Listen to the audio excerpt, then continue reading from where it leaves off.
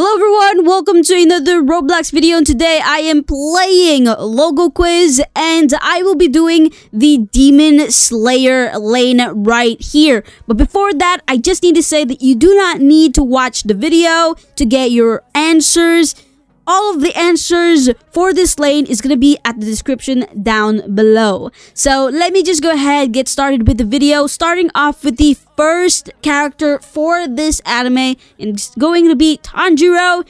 Next one is going to be Nezuko. After that is going to be Zenitsu. For those who do not know, that's named Zenitsu.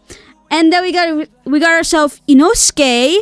We got oh, we got Rengoku right there. Uzui, yes, I'm just copy pasting. This is how I get my answers.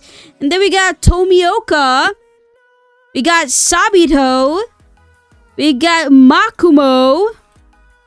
We got Akaza. We got ourselves Muzan. Pretty cool. Michael Jackson on the show. Doesn't want that. We got ourselves Inmu.